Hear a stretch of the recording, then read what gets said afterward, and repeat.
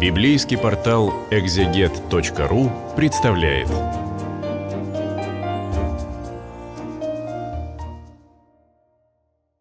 Здравствуйте. Это видео для библейского портала exeget.ru. Мы обратимся сейчас ко второй главе книги Ионы.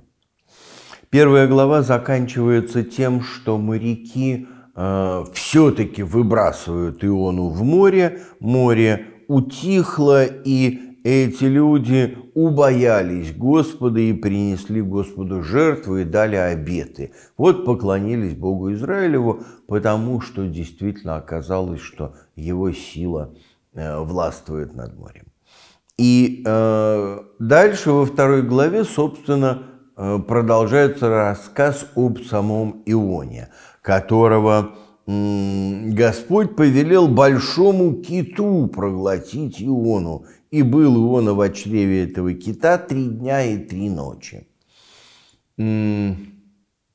Как мы уже говорили в прошлый раз, люди, теологи потратили немыслимые усилия для того, чтобы доказать, что такое бывает что такое возможно, что там кит мог проглотить, он пробыл три дня, потом кита стошнило от этого дела ее и он...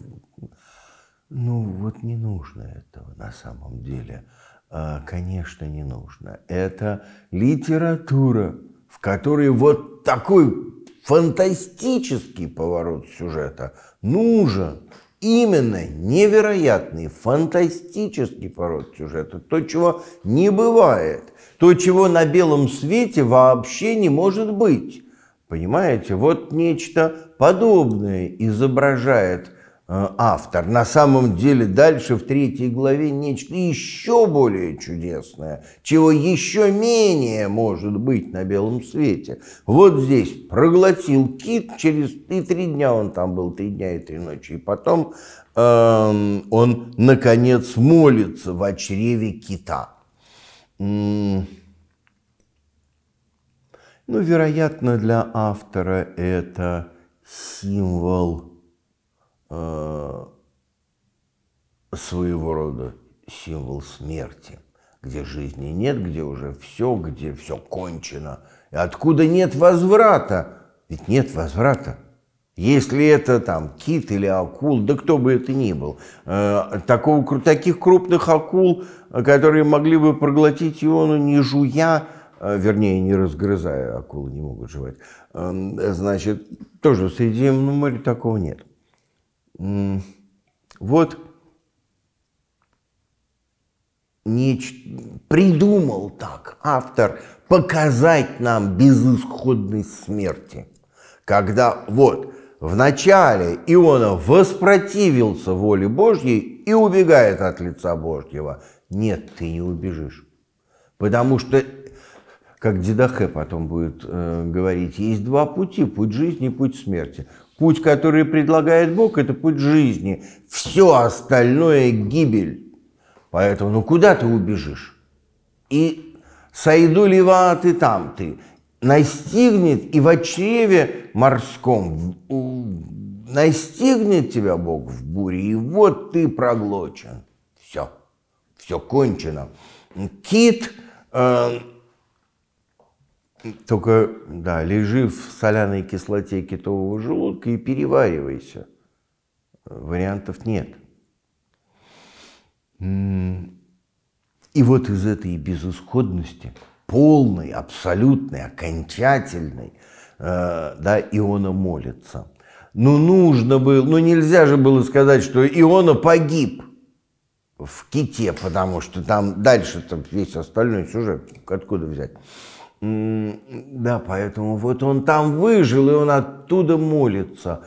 И это тоже, между прочим, а, для эпохи написания книги Ионы важная очень идея. Есть мертвая бездна, вот этот шеол, где нет жизни, где в смерти нет памятования о тебе, где нет ни награды, ни наказания, как пишет Экклезиаст, в общем, современник автора книги Ионы, ну, там, плюс-минус. вот, вот из этой мрачной бездны, из которой нет выхода, в которой нет ни награды, ни наказания, ни справедливости, ни жизни, ни Бога, ничего нет. Но, но Иона молится. И оказывается для автора книги Ионы, что выхода из этой смертной бездны нет – но телефонная трубка для связи с Богом есть. Вот а, даже из этой бездны возможно молитва, и эта молитва будет услышана. И это тоже очень внятный символ, потому что страдающие современники автора и потомки, и следующие поколения, Э, почти всегда могут абсолютно искренне о себе сказать, мы погибли, мы тут на дне уже в чреве кита, воды дошли до души моей, говорит псалмопевец в любую эпоху. Но, как и он из кита, мы еще можем помолиться. Бог нас услышит. Э, связь с ним не потеряна, жизнь потеряна перспектива, так сказать, как теперь говорят, потеряна, шансов нет, но Бог есть. И это не значит, что обязательно Бог там тебя избавит, об этом нет разговора, но э, как бы есть сам Бог, а не обязательно какие-то результаты, что ты у него чего-то попросишь и выпросишь. И вот помолился Иона Господу Богу своему из чрева кита и сказал. «А, молитва Ионы, которая, собственно, составляет основную часть второй главы, по большому счету это такая компиляция из идей, мыслей, тропов, поэтических форм, характерных для псалмов в первую очередь. Но при этом она вполне самостоятельная. Вот такой вот псалом, который поет Иона. И он говорит, Господу возвал я в скорби моей, и он услышал меня. Из чрева преисподней я возопил, и ты услышал голос мой. Вот, собственно, об этом мы и говорим, что э, вторая глава предлагает нам увидеть Иону в бездне, в чреве преисподней, в глубине ада, откуда он взывает к Богу, и Бог услышал.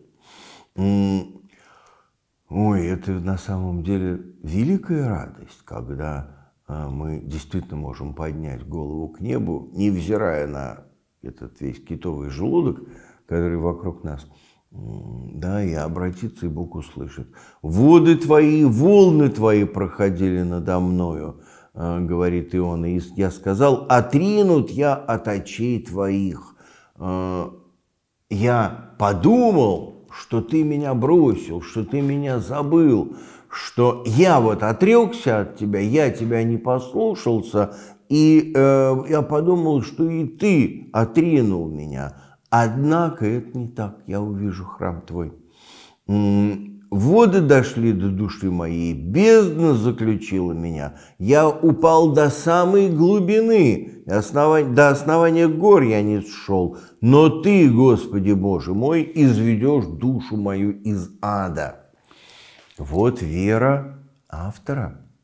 Вот почему вся книга и вторая глава в частности становятся знамением для э, верующих, в первую очередь для христиан – и здесь Иона там три дня и три ночи, э, ну вот Господь говорит, знамений не даст роду сему, кроме знамения Иона пророка. Эм, и поэтому мы говорим, что там Господь воскрес в третий день, ну действительно в третий день, хотя там не трое суток прошло. Тем не менее, вот этот образ э, избавления, как ионы из бездны смерти – Бог возвращает его в жизнь через три дня и три ночи. «Изведешь душу мою из ада». Жизнь мою выведешь из этой э, безысходной смертной бездны. Это может сделать только Бог. Но Бог может. Э, часто люди думают, что все, когда ты попадаешь в бездну преисподней, все, на этом все кончается. Нет, есть тот один, кто может вы, вывести твою душу из этой бездны. Как, когда изнемогла во мне душа моя, я вспомнил о Господе, и молитва моя дошла до тебя, до храма святого твоего. Вот в этой самой пучине смерти. И молитва моя, тем не менее, дошла до тебя, до святого храма твоего. Нет препятствий этой молитве. При том, что, да, формально говоря, Иона уже, в общем, умер. И Иона говорит, я голосом хвалы принесу тебе жертву, э, что я обещал исполню у Господа спасения. Голосом хвалы принесу тебе жертву. А, вот, собственно говоря, речь идет именно о благодарности и хвале, как о настоящем жертвоприношении Богу. Да, исполню то, что обещал. Вот это снова жертвоприношение Богу, в этом хвала. Исполнить то, что Бог тебе повелел. Ну и плюс еще вдобавок, а, Ионов, э, автор э, этой песни, говорит о том, что чтущие суетных и ложных богов оставили милосердного своего. То ли речь идет о израильтянах, которые э, перестали чтить Бога Израилева, то ли речь идет о язычниках, здесь еще непонятно. Понятно будет в следующей главе. Вот. Тем не менее, важно, что автор говорит о язычниках, как о тех, кто забыл, оставил милосердного Бога, но они тоже от милосердного Бога. А как бы их путь тоже от Бога отсчитывается. Это э, чрезвычайно важная молитва, вот весь этот псалом во второй главе. И э, не забудем, что он стал таким, э, такой моделью для богослужебной поэзии христиан э, не только в прославлении воскресения Христова в третий день, но и вот э, воз, того, как Бог возвращает к жизни из бездны, когда воды дошли до души моей. И сказал Господь киту, и он изверг Иону на сушу. Вот то, что должно было быть сказано – Эм, из ада, из бездны молитва дошла до тебя, сказано, и Бог откликается на эту молитву, на э, согласие Ионы пойти по тому, тому пути, по которому Бог ему предлагает пойти. И кит извергает его на сушу.